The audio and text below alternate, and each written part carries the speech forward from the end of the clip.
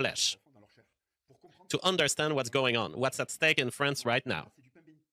So, what's going on right now is a godsend. We've got to let the Republic go to the end of its logic. What the suburbs are doing right now, of course, the motive is bullshit.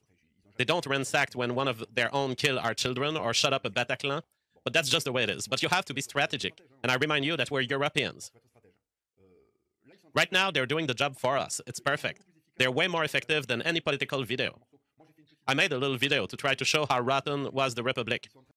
Okay, so compared to a perspective of, you know, we must go out into the streets and confront armed rioters and hold up signs saying stealing is violating God's ten, ten Commandments, and I think that's even a worse strategy. So between having an exaggerated sense of your own importance so that you go out into the streets confronting you know rioters and looters right that's that's absolutely terrible so your first responsibility should be to your family and then to your extended family and your your community. But uh, people want to fall down on you know either side of an extreme right? One one extreme is to think that they can just completely you know change the, the nature of reality. That they can go out there and they can change the world. They can band together with their friends. Like dennis prager says you know, he, he wants to shape the future of America. He he feels like he can he can save uh, the Bible and uh, keep it alive for future generations. All right, this is an absurd level of overconfidence about how much influence you can have. On the other hand, you should pray for the welfare of the government. It's a basic Jewish teaching that I, I subscribe to from Pirkei Avot, the Ethics of the Fathers, from uh, the Mishnah 2,000 years ago. Rabbi Hanina teaches, pray for the welfare of the government but were it not for the fear it inspires, every man would swallow his neighbor alive. Right.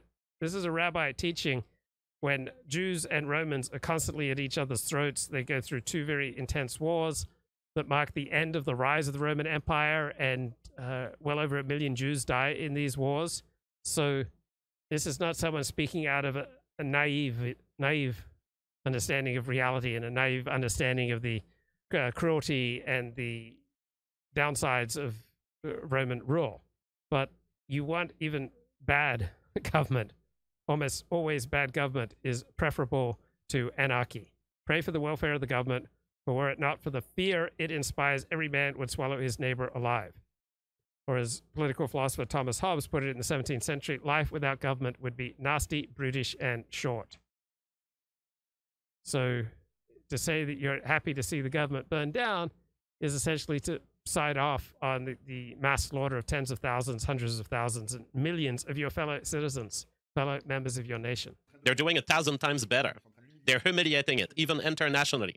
We're one year away from the Olympic Games, and here's what France is what everyone sees on TV. So let it. Yes, a multicultural, anti white, rainbow flag waving government is preferable to no government. Be after a while, they'll call people like us, like us, to come and clean up. For now, just sit tight. Yeah, this guy's delusional, thinking that uh, the elites are going to cause call people like him, Papacito and Jean Francois, to come and clean up the mess. Right? Uh, people like Richard Spencer and other distant right leaders believe that uh, eventually the government's going to turn to them to clean up the mess. This police force that helped this regime so much during the COVID is now sent by the same regime to contain the Huns with contempt to boot since Emmanuel Macron condemned the policeman who did his job. And the police don't want to strike. They can't. Uh, the French overall have a pretty high quality of life, right? Uh, the French overall are pretty happy and feel awesome about being French. France definitely has its problems, but uh, overall life in France is not a hellscape. For reasons of status, money, so they won't strike. So the Republic is faced with a dilemma. It has its arms and its policemen. And the chat says they'll call on the SAPs to watch football and endure regime punishment beatings. No, they'll call on the police and, if necessary, the armed forces, who are plenty capable of, I would expect, to you know get get a rein on this eventually. So our our ruling elites are not idiots, and they do not completely lack aptitude and competence. They're not going to call on Papacito and Jean Francois Gariepy and Richard Spencer to clean this up. they will turn this over to trained professionals in the police and possibly in the armed forces. Men who are in the process of fighting each other. The Huns shouldn't go too far and the cops shouldn't break. But in the current logic, the Huns and further and the policemen are likely to crack. So your first instinct is to defend your country, but you won't defend it. You'll defend a regime, and you'll allow the far left to say, "Oh, look, there's this political." Okay, Luke's making some uh, good challenges here. We must support a government that promotes chaos and anarchy to support to stop chaos and anarchy.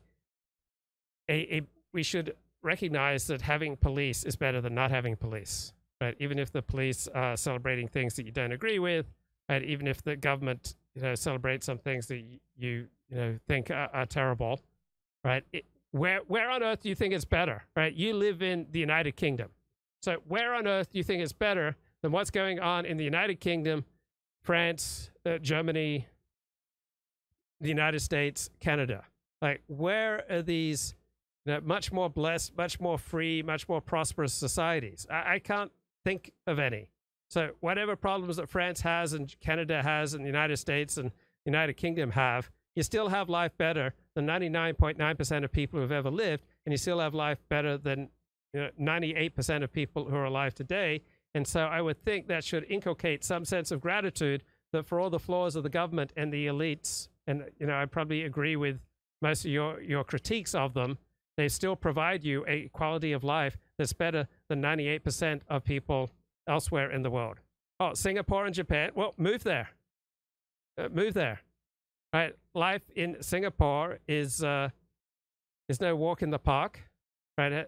It's a pretty tough place to adjust to. Uh, Japan. Japan has no interest in you moving there. So, you know, wh- where else on earth are they going to take you in and be happy about uh, you you moving there? the quality of life is declining. Okay, compared to where? Where do you think the quality of life is so much better? Do you, do you really think the quality of life is just dramatically better in Singapore and, and Japan? I, I know people who live in Singapore and I know people who live in Japan, and there are plenty of ways that life in Singapore and Japan is better. Just like I was in Australia and there's virtually no crime. There's, compared to the United States, high social trust and so, high social cohesion. So those are some ways that uh, life in Australia is much better than in the United States. On the other hand, if I moved to Australia, right, I would earn about 60% as much money and my living expenses would be twice as much as they are in America, right? Uh, 67 American cents gets you one Australian dollar, right? Australia, United Kingdom, France, Germany, Europe are in for very tough times economically, right? Life in America is far more prosperous, far more free, and uh, is on a far better trajectory. Right, the United States is going to continue to dominate the world, even outstrip its competitors in the decades ahead. Group fighting this ethnic group, and that's not at all desirable because they'll once again be the referee. Now that's over. Now they have to be involved. Did you saw what happened to Martens Bilongo? He tried to meet the rioters thinking that all of LFI's submissiveness was going to pay off, and he got beat up with a crutch. So yeah, I live in West LA. There's virtually no crime here, right? Virtually no crime in West LA. No, virtually no crime in Beverly Hills. There's virtually no crime in the eastern suburbs of Sydney. No, it's a it's a very competitive life. You have to work really hard, and you have to essentially earn six figures to be able to live in nice areas. That's what's going to happen to the far left in the next few days. They're going to be beaten with crutches. You'll note that I profess. And the chat says you need to visit the United Kingdom again. 40 is turning into a pit. Yeah, a lot of problems in the United Kingdom, but still, life is better, I would expect, than 98% of uh, places on Earth. Yes, that people in the countryside would be safe from such things, and they are. It's all happening in the cities. I warned you a long time ago go to the country. Normally, people our age in the country are conservative. They know why they left the cities. So it's all very well for I, I don't know about you, but I love to live my life around writers and professors and philosophers. And uh, these people overwhelmingly live in cities. I also want to live my life around Orthodox Jews. I, uh, where where can you go where you can go to you know social gatherings of writers you know pretty much every night of the week right you can only do that in a, a big city right there are all sorts of you know opportunities in a city that are simply not available for people in the country. Right? Yeah, go to the country if you like it, but uh, most people who enjoy life in the city are not going to be thrilled with life in the country. For the countryside to be spared, if you live in the country, you won't have riots. And if a rioter shows up, you've got all the tools you need. Not so much in the city. Right now, they're tearing down apartments of centrist and far leftist. These people look out their windows and see fire with Huns dancing around. Absolutely beautiful statement by Papacito. I didn't even know this guy, apparently. Yeah, for uh, Jean Francois, this is beautiful because Jean Francois, like Papacito, also wants to stay on the sidelines, you know, stay in a remote area and just watch everything burn down. Right? If you love people and have people who love you, you're not going to be at ease with your society going up in flames. Right? A very different perspective than that of Steve Sailer or Charles Murray, who are still highly invested in America. He's a far right guy. I should know, but I didn't know this guy. Uh, but my God, is that what I think? We are faced with uh, a situation in which we have absolutely no interest at intervening one side or the other. Wait, wait, wait. Who's asking you to intervene? Right? There's no. I agree. There's no need for ordinary people to intervene. You should take care of your family. You should do your job. You should take care of your community. You should take care of your extended family. You should develop skills and pursue your interests. And you should uh, volunteer and help out you know, people, you know, do, do charity work, help people out 5, 10, 15 hours a week. I think almost everyone should make make a few hours a week at least to help other people out.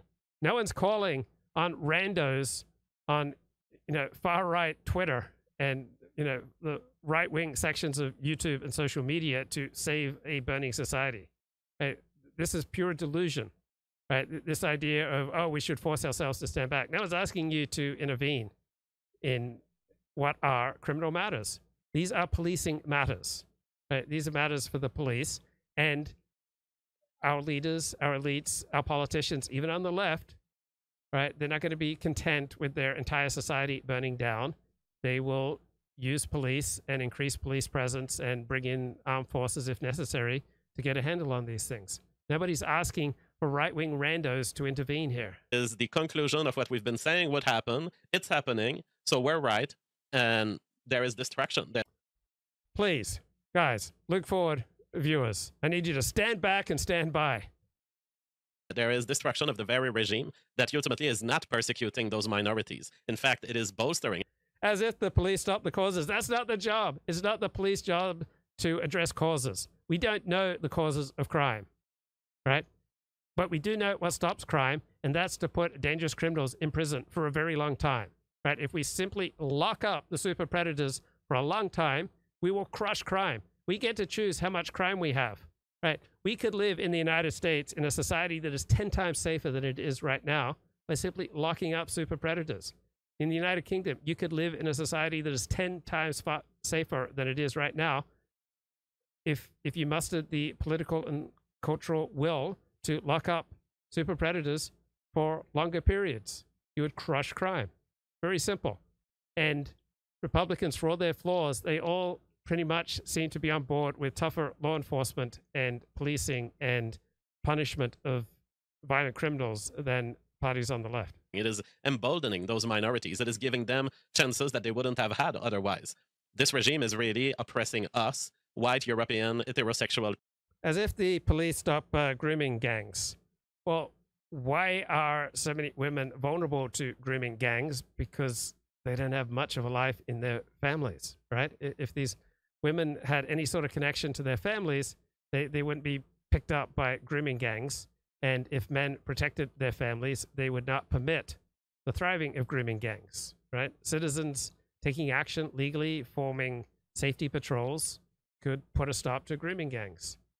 And politically taking action, stopping immigration and insisting on higher punishment for violent criminals would uh, put a major dent in this bad behavior. People, but let, let this regime be totally destroyed or partially at least weakened by whatever amount of force these rioters are capable of deploying.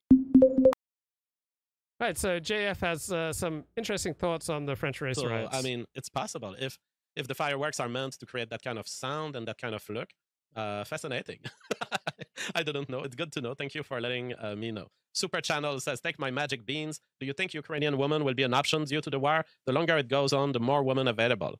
I think that there will be very few. Um, I think they will definitely be adding to the market. And when you add to the market, you know, more offer, uh, that leaves space for lower price. And I'm not saying just trust the police. I'm saying just trust reality. And the reality is that you can't stop rampaging violent criminals as a civilian. Right. So, what alternative do you have? So, trust reality, avoid violent criminals the best you can to the extent that it's legal. Uh, join safety patrols in your community, like uh, take up arms if it's legal, get trained in self protection, in communal protection, uh, look after your families, you know, earn as much money as you can legally and morally and in an upstanding fashion, and develop better and better relations with the people around you. That's the best way to stay safe in turbulent times and in good times. Therefore, you may acquire a Ukrainian woman or a woman that got her mail taken by a Ukrainian woman. Uh, so whenever this kind of event happens, uh, it disbalance in the sexes. It's good. It's good for the other sex when there are more members of the their opposite sex. That being said, uh, there is the possibility that they will be they come from a very corrupt, very low level, high criminality country. Safety patrol sounds like a lawsuit in the making or career ending viral social media video. No, do it right. There, there are all sorts of uh, safety patrols all, all around the United States. Do it legally, do it correctly, do it in in connection with law enforcement. You've got the, the guardian angels in New York City. Uh, Jewish communities have uh, their own their own uh, safety patrols, and they take you know many steps to try to keep their community safe. You should take legal steps to keep your community, your street safe. And that might mean you will be dealing with a, a female who has pre-evolved to fuck you up in ways that you don't, you can't even conceive of as a. Way.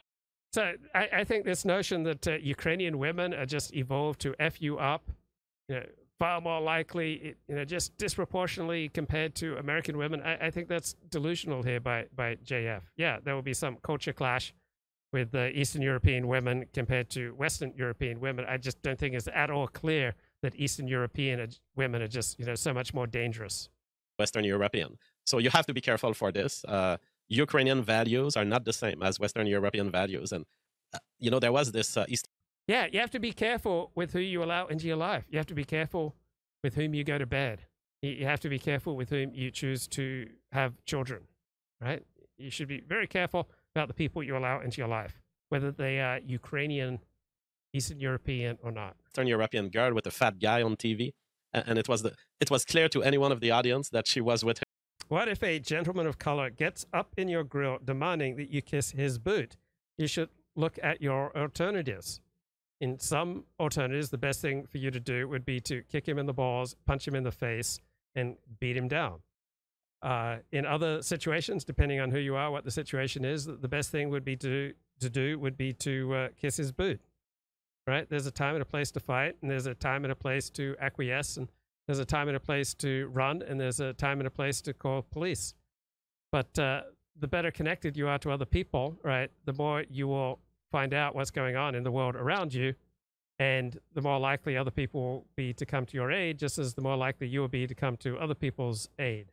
So the answer to this problem, along with every other problem from earthquakes to how do you survive inflation, unemployment, uh, technological disruption, get connected to your family, your extended family, build friends, build community, be a valuable part of your church, your, your synagogue, volunteer, right? Get rooted, get connected. Him for the green card. And at some point, she basically says it to him. You should never walk alone, right? You shouldn't walk alone. You should walk with other people. You should form common cause with other people. You should get bonded with other people. You create shared reality with other people. And you should uh, protect other people. And the more that you protect and look out for other people, if uh, they're at all decent, the more likely they are to look out and protect you him and he starts crying. Uh, you have to be careful. They, they may be, uh, yes, DK Shadow, they are born.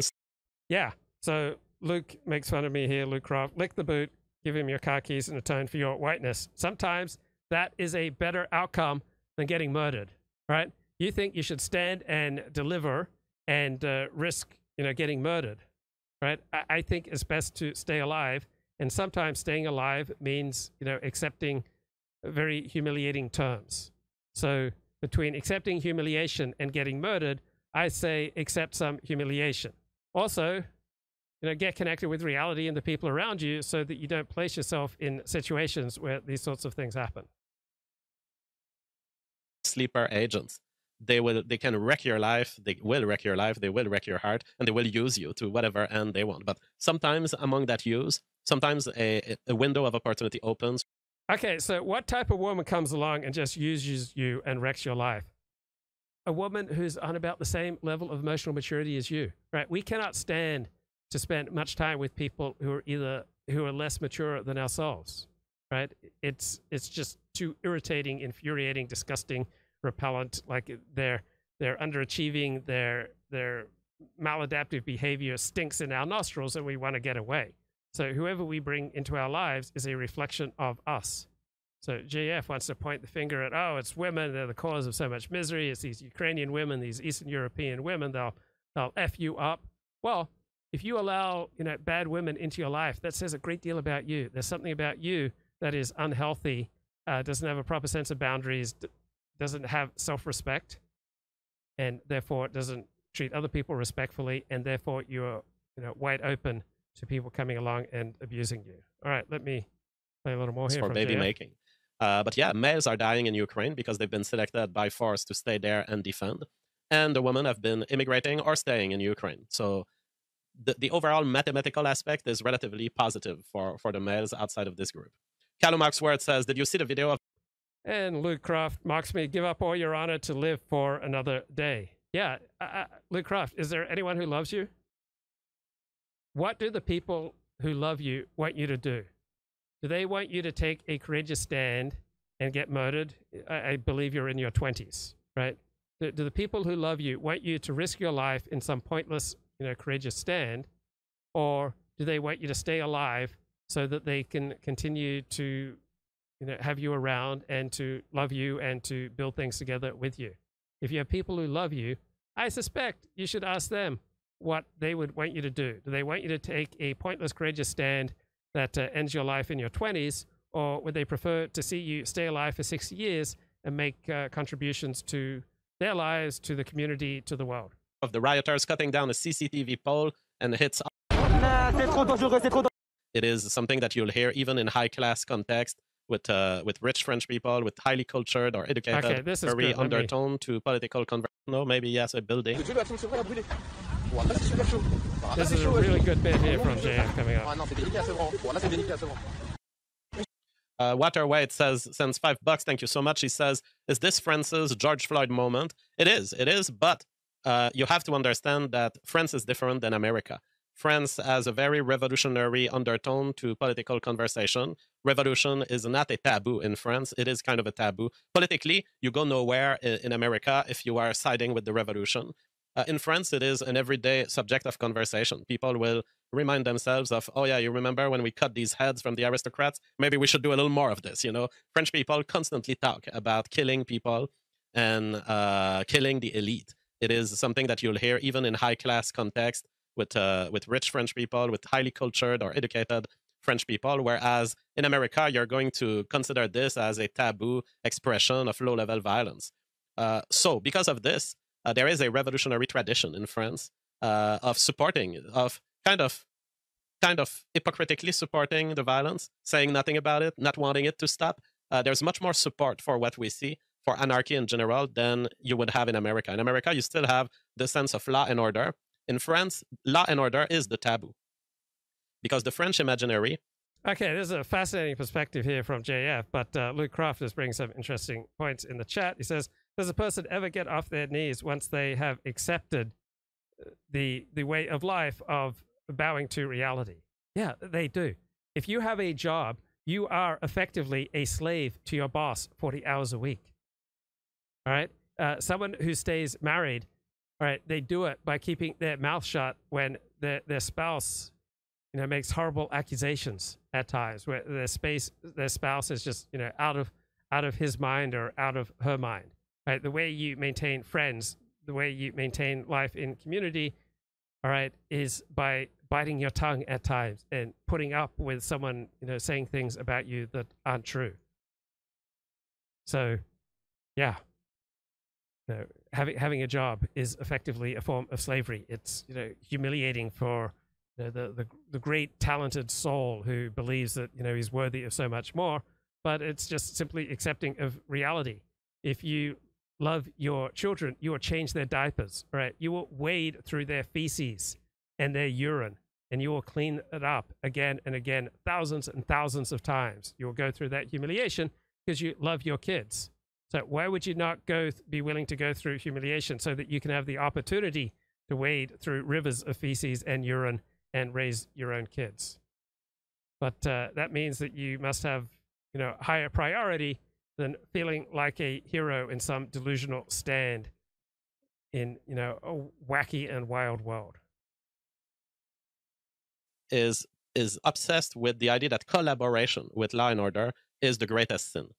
Uh, they have acquired this uh, with, with, mimetics around their collaboration with the Nazis in World War II, but it has developed in you don't. You don't stool someone. You don't uh, call the police. You don't complain that you've been the victim of a crime. Those are very much French values right now. So a George Floyd moment in France is very different from a George Floyd moment in America uh, because there is hidden dark support for. So every man wants to be a hero, right? Every man wants to take a stand against evil.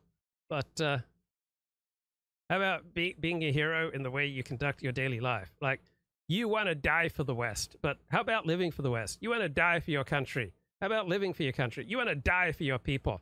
How about living for your people? You want to die for your family. How about living for your family? Right? So instead of like going out in a blaze of glory, why not start creating a glorious life one action at a time, one word at a time, one habit at a time, one commitment at a time, one relationship at a time, one you know charitable donation, charitable donation at a time, you know, one uh, act of helping somebody else at a time, know, getting connected to to your neighbors, to your community, to your synagogue or your church. You know, one volunteer opportunity at a time, one book at a time, one essay at a time. How about becoming a hero by building a heroic, upstanding life where you are a good friend to yourself and where from the time you wake up in the morning to the time you go to bed, you feel good about how you've conducted yourself. So, more than 90% of the time, from the time I get up in the morning, from 3 a.m. until 9 p.m., I feel pretty good about everything I've done during that time. I haven't eaten too much. I haven't talked too much. I haven't under exercised. I haven't, you know, overindulged. I haven't, you know, masturbated. I haven't looked at pornography. I feel solid, all right, about every choice that I've made most of the time, right? It's a life that builds together as a symphony. It's a heroic life. So instead of going out in a blaze of glory, why don't you live for your family, live for your friends, live for your community, live for your people, live for your church, uh, for your synagogue, you know, create an honorable life that is heroic day in and day out a lot of what you're seeing right now. I'm not saying that the French people are okay with their stuff being broken, but I'm saying the French people fundamentally sees the police as a third party, a third hostile party. They may have some problems with the riots. They're going to say, all right, the rioters have been bugging my life. I hate them. But they're going to have much more trouble with the police. And the police, they're like at the lowest level of respect in France. So that's how it works. That's how the cultural thing differs. And that's how uh, it can lead to a much more political friction and much more impact on the society. So here we have a live video. Uh, so there's been riots everywhere, followed by live stream all night, and it is still the night as we speak there. So I've never recorded having being forced to kiss anyone's boot. All right. If you're humiliated, in all likelihood, it's because you've gotten out of touch with reality. You are somewhere you shouldn't be. You have said words you should not have said. You have acted in a way you should not have acted. You are out after midnight in parts of town that you should not be out in after midnight. So in all likelihood, any humiliations that you are going through are the result of your choices. So it's so much easier to blame it on, you know, the blacks, the elites, the Jews, the gays, the, the trans, the whatever. In all likelihood, the overwhelming amount of humiliation that you face in your life is because of your choices. Right? It's not the out groups. It's not the elites. Right? It's not the government. It's not the politicians. It's not the bureaucrats. It's not the media. Right? your humiliations overwhelmingly will result because you have gotten out of touch with reality. You have been placed, you have placed yourself in positions you should not be because of your own bad choices. You have said things that you should not have said. You have not accumulated the skills that you needed to accumulate to lead a, a good and honorable and prosperous life. You have not put in the hard work to build a prosperous life. You have not built the relationships with family, with friends, with community, all right, with uh, people in your profession that would enable you to thrive and to, to live a good life. So, in all likelihood, the overwhelming majority of humiliations that you have suffered are because of your choices, not because of something that society in the first world has imposed upon you. Uh, police reinforcements heading to Lyon, France. Uh, that was uh, maybe today. Uh, the reinforcements and tanks. So people were noting a very interesting note on this today. You didn't get, you got the coverage of the Prigozhin civil war against Putin. But the Prigozhin civil war against Putin, there's a handful of explosions that have been involved, maybe a couple of shootings here and there, but that is it. And it was covered as a civil war. How is it that if I go on CNN right now, I don't see that France is in a civil war? It's because the party that the parties that are at war in France is uh, probably the reason you go on CNN, you don't see that uh, France is in a civil war, is because France is not in a civil war. It has a criminal problem. It has a law enforcement problem. It has race riots, but it's not a civil war.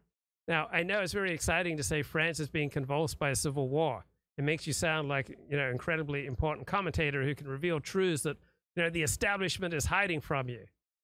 But the reason that uh, normal journalists don't talk about America being in a civil war or France being in a civil war is because they are not in a civil war. They have crime problems. The racial minority of the country, which is very much supported uh, by leftists and by leftist media. And so they won't cover it as a civil war, but I mean, they have basically more explosion, more destruction than you've seen done by Prigozhin or anything like this. And yet they were like, oh my God, Russia is about to fall. If Russia was about to fall because some private general of a mercenary army shot maybe one plane with maybe one member of the Russian army. Uh, what is this? This is a country that's completely fallen. This is a country in ruin. Liberal France gave them a refuge. Uh, people are talking about how there, there is a lot of the Middle Eastern population of France that is uh, participating to these riots. Hundreds of buildings like this have been burnt in France in the last few days.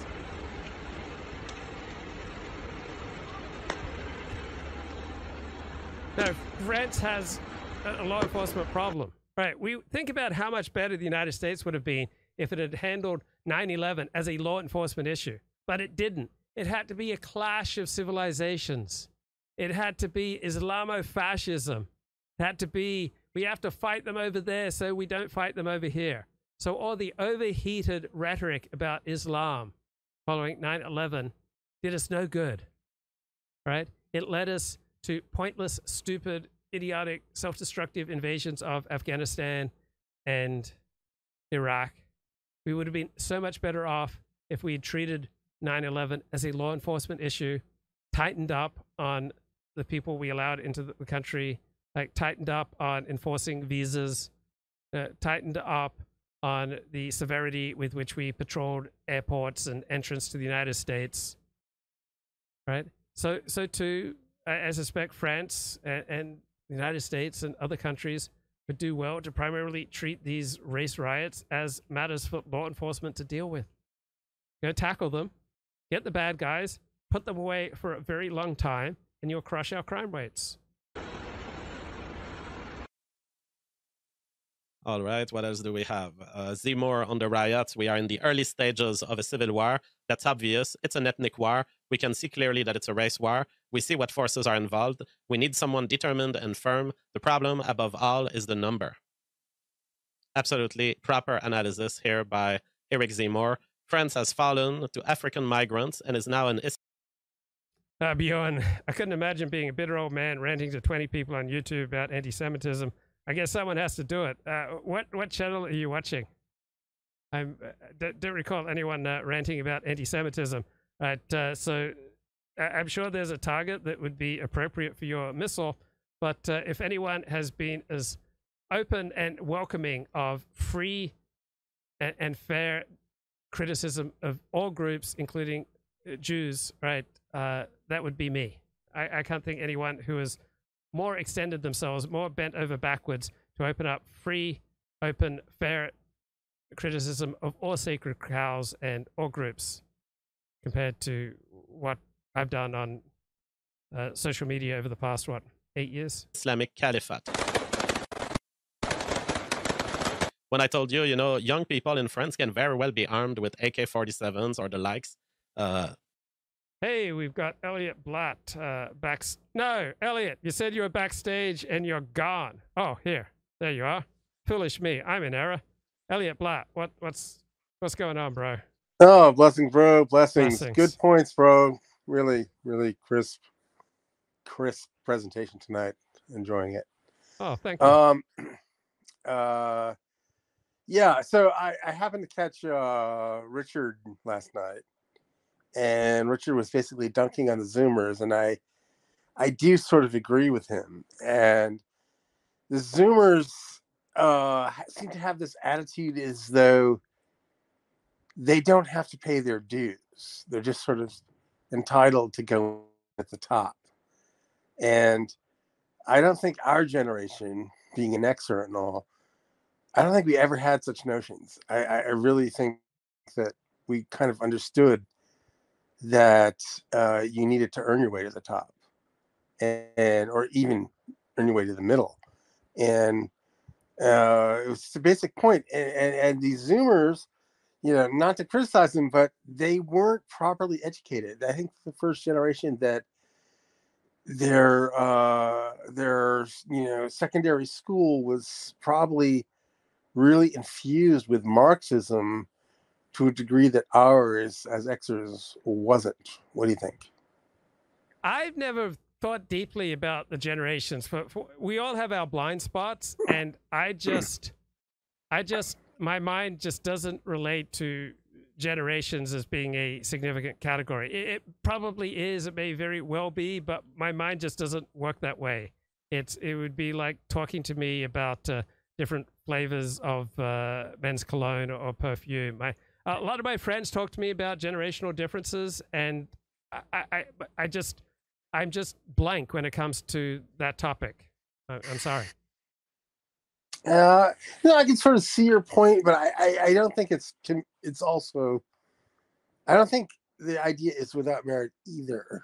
I think there is something to generations, and I don't want to say it's necessarily dispositive, but there is something there, and I, I just reflect on my own personal experience with the thirty and under set, and how fundamentally disappointing it is and I think there's something there. I think there's these kids. I think kids that grew up with the internet and the amount of instant gratification that the internet has that they've lived with and come to expect don't have the ability to appreciate bitterness and hard work. And I, I, I, think yeah, that's a I don't real see any observ- I- difference with our generation.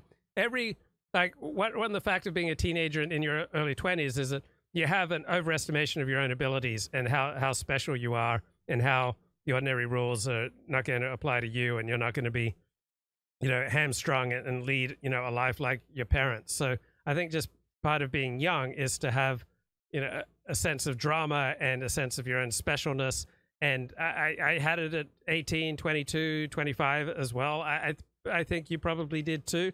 I'm sure there are some Mm. ways that our generation was superior, and there's some ways that our generation was inferior. Like I, I mean, plenty of you know upstanding, impressive 18, 20, 25 year olds. I, I don't find anything overall inferior about them compared to other generations.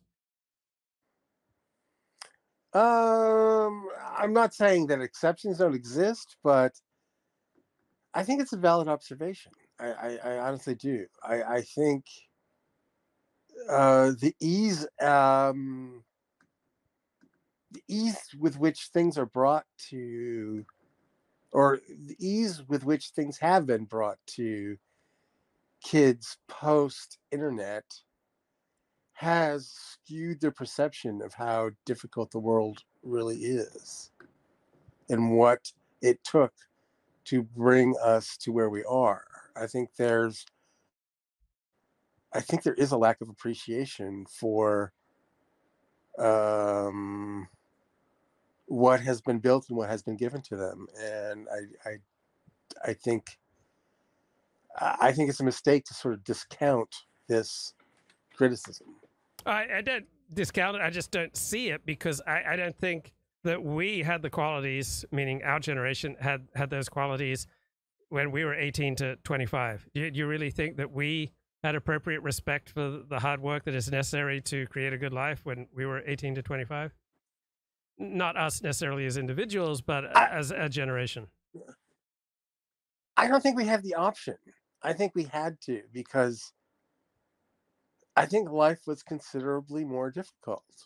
I, I honestly do. And I'm not trying to be the guy, you know, the get off my lawn, the old, you know, when I was a kid type of guy here, but it's true that we didn't grow up with cell phones. We didn't grow up with internet. We grew up with, you know, um, you know, landline telephones and three channels on the television and uh, just a very limited array of of uh, dopamine opportunities that these kids seem to have been suffused in since birth. Yeah, I, I think that's accurate, but there are many advantages to the way we grew up, and there there are advantages to the opportunities that they have. I, I don't think it's like you know one one way is just inherently uh, more productive of, of, good people than than the other. Like we benefited from those restrictions of freedom, and we uh, l- lacked opportunities that uh, this generation has. I mean, how much interaction have you had with Zoomers, and what is a Zoomer? Is it people in their twenties? Yeah, to me, a Zoomer is somebody under thirty. Yeah, okay. I mean, I don't know if that's the actual definition, but to me, that's what I'm thinking of. You know, and I've had a very narrow set of uh, interactions with people under 30 but i you know i've uh, well how do i say this but like um these kids like you know i've i've now quote unquote employed two quote unquote zoomers right yeah and the terms of conversation are not like oh what can I do for you? It's like, what can you, meaning me, do for them? Right? There's a total inversion of the sort of traditional uh, employer employee relationship that was thoroughly unthinkable in my days as a 20 year old. Wait, wait, you know? when, when you were 20, uh, were you thinking a great deal at your work about what you can do for your employer? I just no. I, am thinking, yeah. Well, I'm thinking, what can I get out of it? But I fundamentally understood that, you know, my value, my paycheck was completely uh, determined by what I could do for my employer. Like I had no illusions about who stood where in the hierarchy. And today's Zoomers come to you and they believe that they're peers and they're not peers. They've taken no risk, right? They see themselves as entitled to a certain lifestyle, and it's up to me to provide that for them. Do, do you see what I'm saying? Um, I mean, I hear what you're saying, but I mean, I just know how incredibly selfish and self-centered I am. Like, I Ooh. have not spent my, you know, career as an employee thinking about how I can be of service to my employer. I've thought about how I can get laid uh, when I'm at work. I thought about how I can, you know, form intense relationships at work so that I can, you know, do the things that I want to do and avoid the unpleasant things. I thought about how I can maximize my income and benefits and, you know, have a harmonious work situation that's, you know, most congenial to me. I have spent very little time thinking about how I can be of service to my employer and and in the last seven years that I've been able to raise that from say, you know, 0.1 percent to, you know, perhaps two, three, four, five percent of the time has has made a dramatic difference in the quality of my life. but I'm still a 95% selfish person.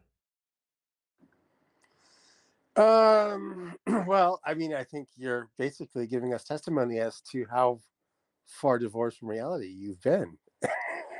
well, uh, then, then uh, how how inclined, you know, have have you been to putting your employer's interests first? I mean, you, you must have. I, I well, you know, to be honest, I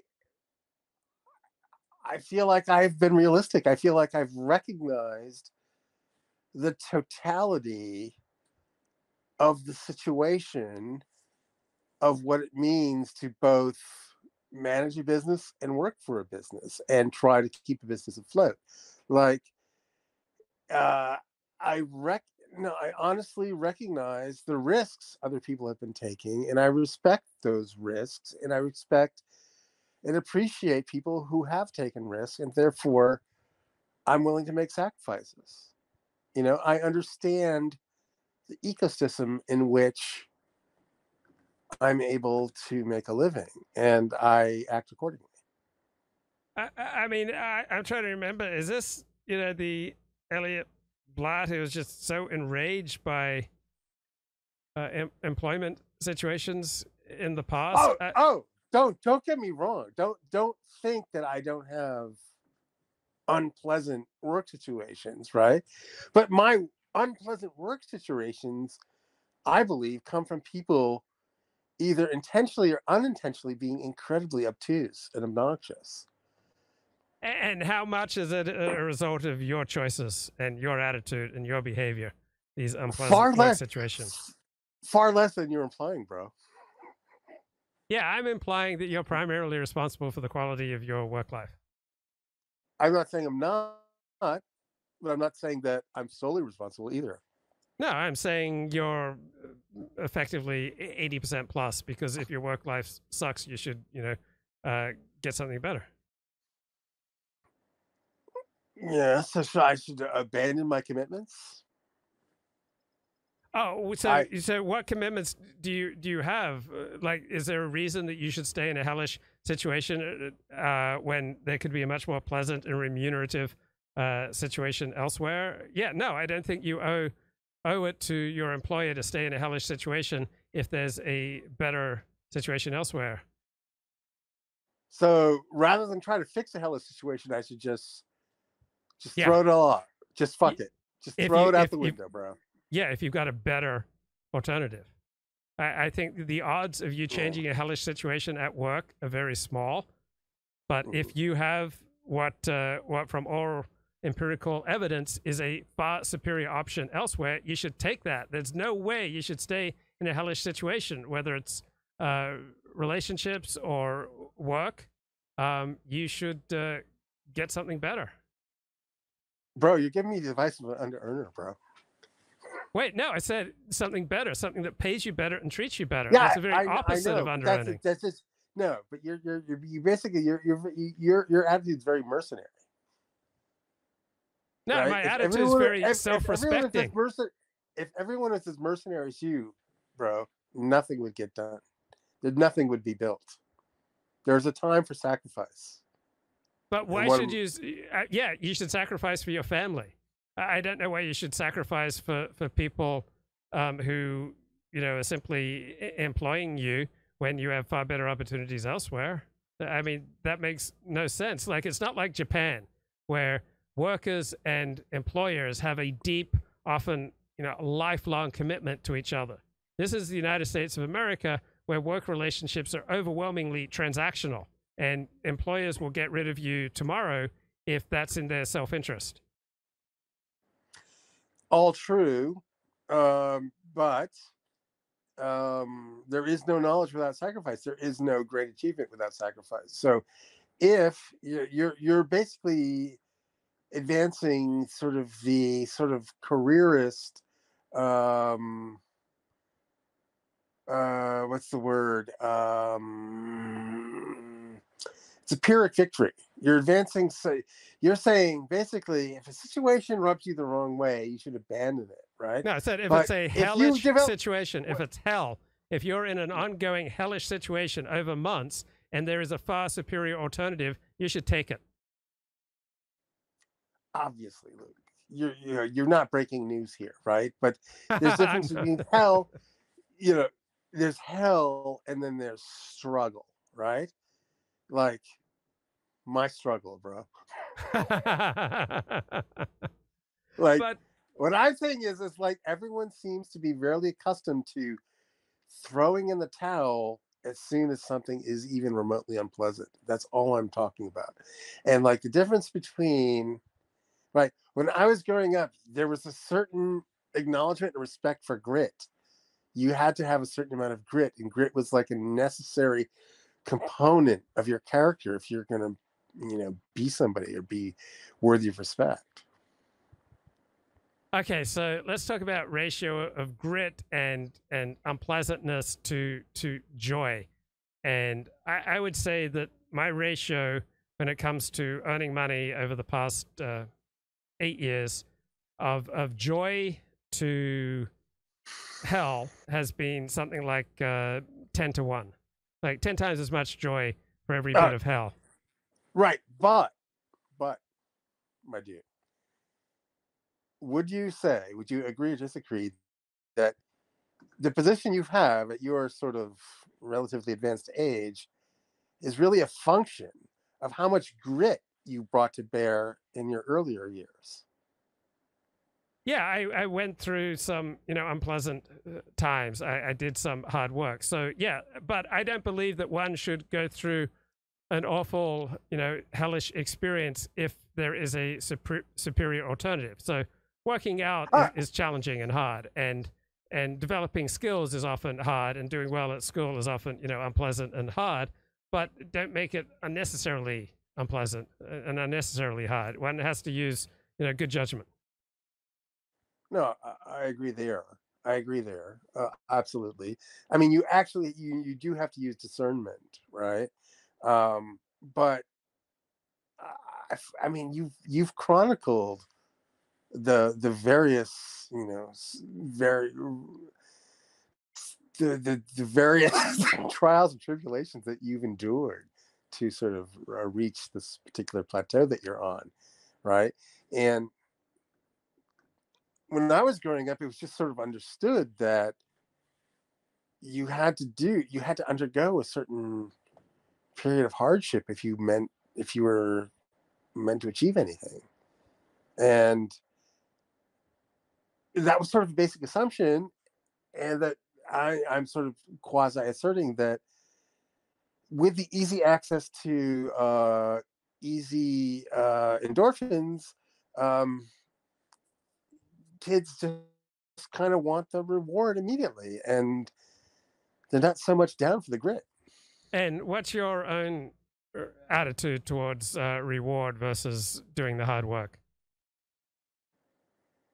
i i learned to love the grit bro And and so how does that? i was i was totally like i was like everybody else right i wanted to do as little as possible Yeah. and get as much for it Yeah, and get yeah. as much as possible right and when this when did that hum- change?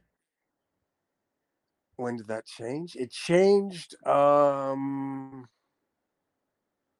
i don't know mid 30s because i because here's why if you're ever overpaid right the problem with being overpaid is the insecurity of knowing you're overpaid Yeah, and that it'd be in your boss's best interest to replace you or get rid of you. yeah you'd rather Yeah. be underpaid Yeah. right and feel secure knowing that you're delivering more than what you're being paid for than being overpaid and knowing that you're you're you're on a tightrope that could easily snap Yeah, that's that's interesting um, because uh, there there are a lot of components there. Like you you may feel or have you know all sorts of evidence that you're being overpaid, but if you're still providing you know a valuable function, uh, Well, it's not that you're performing it. It's right, in my experience. I've had periods in my life where I've been overpaid, mhm, but when you're being overpaid, the people overpaying you are working double time to figure out how to not have you around. Right? And you're you're you're in a very you're in a much more precarious position than you think you are in. Yeah, And so that. Yeah. So um the, I, I mean i'm just trying to i'm basically trying to echo your message of realism here hmm like failing to appreciate the reality of the entire economic situation that you find yourself in will bite you ultimately even if you do manage to squeak out a few good years of being overpaid Yeah. So one of the things that I hate is you know dealing with idiots. So I've managed to create a life where I have very few interactions with unpleasant people. And so one of the ways that I did that is that I I charge top dollar for my Alexander Technique lessons. Like I charge more than most other Alexander Technique teachers because I find when I charge top dollar, I get a far better quality of client. And so in, in many areas in my life over the last eight years, I find when I charge you know, more than than average, I deal with with better quality clients. Now, landing those higher quality clients takes you know more work, and I have to provide a a superior quality you know quality product. You know, I can't just uh, go through the motions, but it's been really important to me to minimize my interactions with people who I find highly unpleasant. So I've been willing to make the sacrifices, do the hard work to create a life where I have, you know, very few uh, frustrating, painful, infuriating interactions with idiots.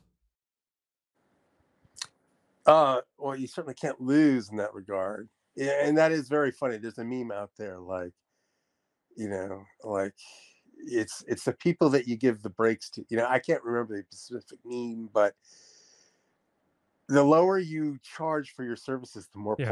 pla- complaints you get Yes. Yeah. right? Yeah. and it's the higher you charge Yeah. it's like they can't wait to keep coming back yeah I, I, but yeah. eh, like how to crack that nut is basically the riddle of you know that's what determines the winners and the losers Yeah, there's uh, Frank. I think it's Frank Kern. He's an online marketer, and he found that when he sold products for thirty nine ninety five or sixty nine ninety five, it's just nothing but aggravation. But when he Mm. he sold products that only cost three thousand dollars or more, he just virtually had no aggravation. He could run into people who bought his products, you know, at the beach or at the store, and you know they'd just be friendly, nice, nice people. And uh, so too with me. When I started out as a practice Alexander technique teacher, I mean, I went down to $25 a lesson. And this one student I had, he asked for half lessons for $12.50. And then he would take the time to write a checkout.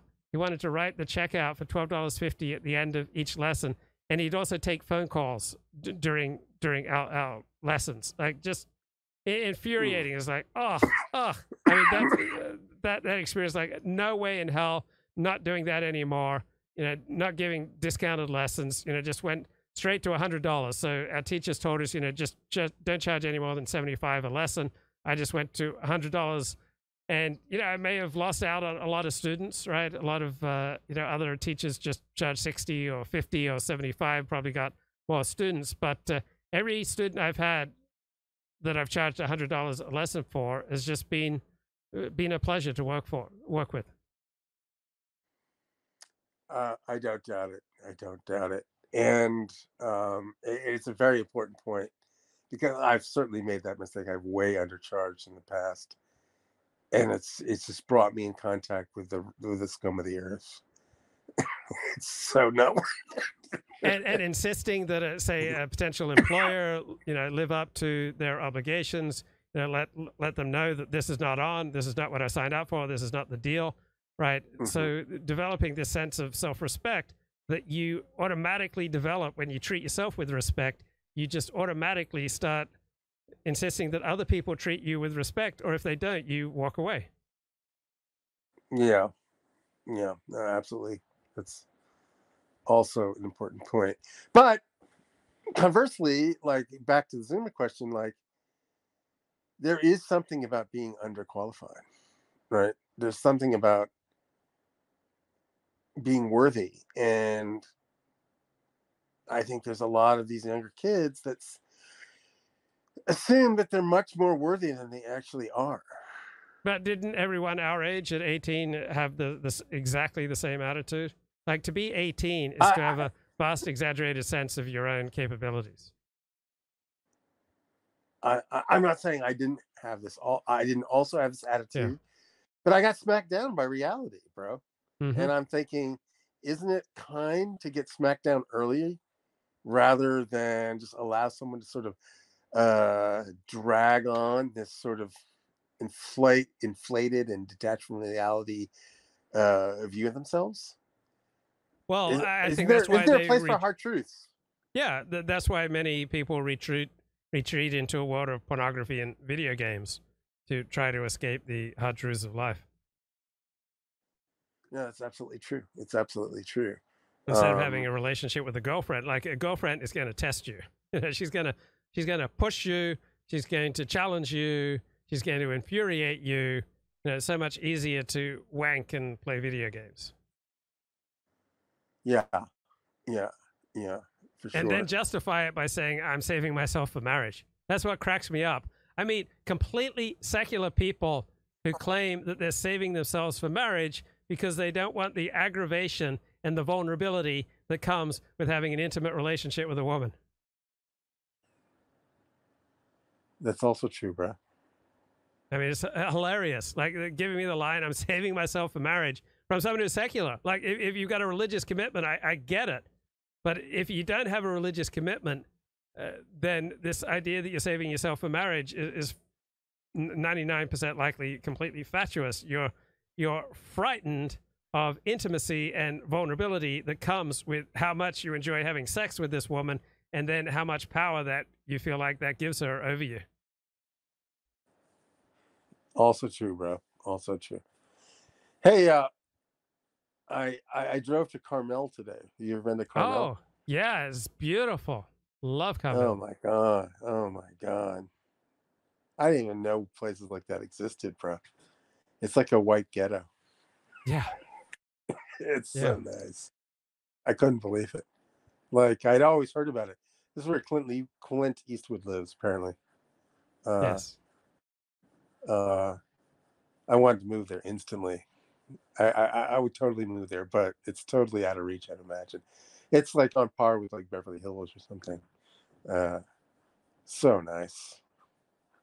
Oh yeah, uh, it's there's so many lovely places in California. I mean, but Carmel, uh, Monterey, Big Sur. Yeah. My God. Yeah. Yeah. So it's about a two hour, a little two hour plus drive from the city. And uh oh man, I gotta just move there. Was, so was it was it good for your soul? I mean, did you feel like it a different man? I did. I did. I felt like there's something to strive for now. With a little uh taste, a little taste of something else I needed, bro. I needed needed new headspace.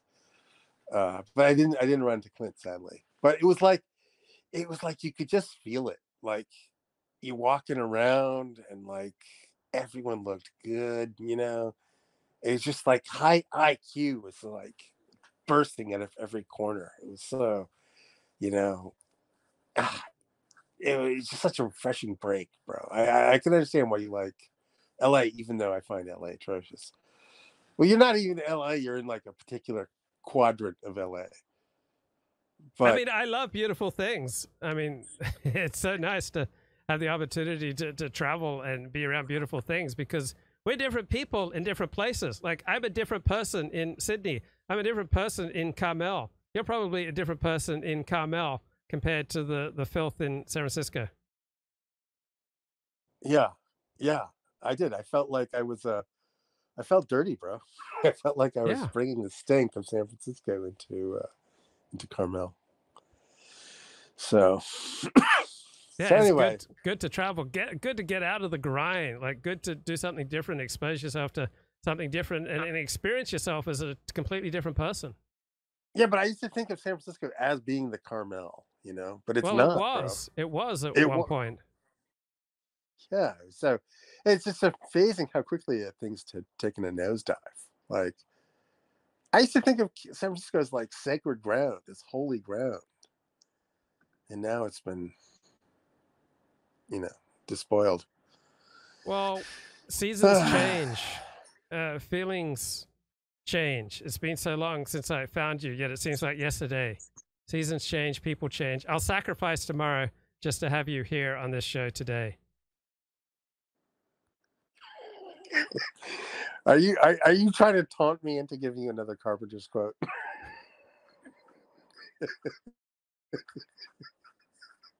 I just want to feel you by my side. I've got to have your insights right now. Just been so long since I found you. So anyway, I've been listening to lots of Carpenters, and like I'm like, how did we lose all this, bro? Like this, Yeah. this, is incredible, incredible music.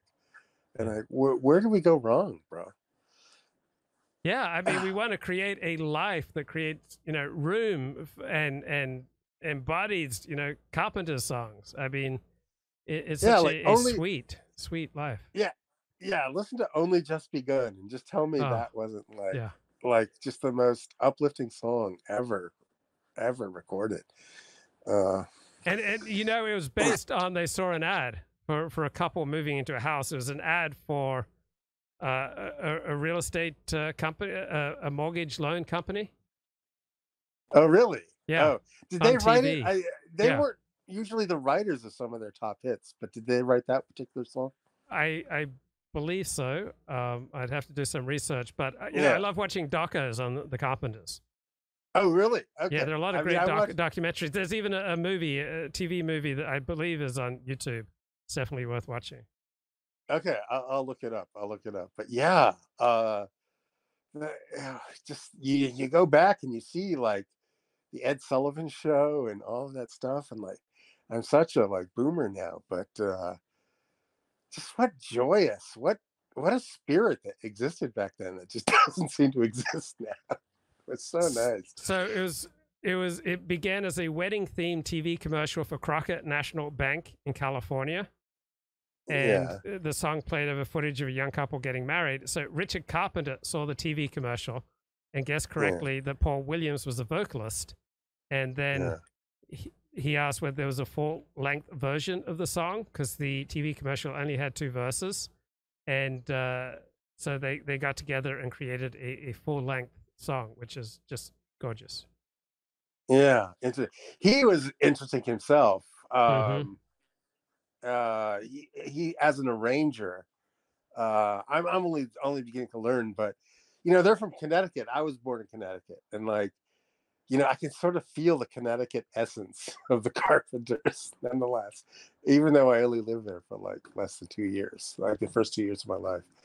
But there's something about Connecticut, like there was just a certain uh, style and class about Connecticut back in those days. It doesn't surprise me that yeah. they're from Connecticut.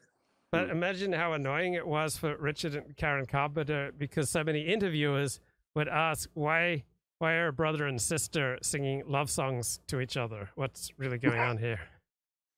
yeah, I know that is that is weird. It was shocking. Imagine how for me to awkward that would be. Like every Yeah. time you're doing an interview, yeah. asking "Wha- wha- what's what's the exact nature of your relationship with your sister. Uh, are there any other brother? Well, I guess the Jackson Five were brothers and sisters, right? But are there any other Jack, uh, any other sibling bands out there? Uh, probably, but it, it is kind of awkward a brother and sister singing about love songs to each other.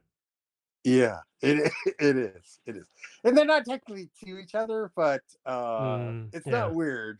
But yeah, there's definitely. I, I, yeah, if you want to be cynical, if you want to take a sort of 2023 sort of 4chan look at the situation, yeah, you could, you could, you could be cynical about the whole thing. But I don't know, bro. You know, there's. uh, We've only you- just begun need- here, bro. We've only, we've only just begun, bro. We've only just begun. All right, man. That's all I got, man. Okay, man. Blessings. All right. All right. Blessings. Shalom. Okay, take All right, care. Bye bye. Care.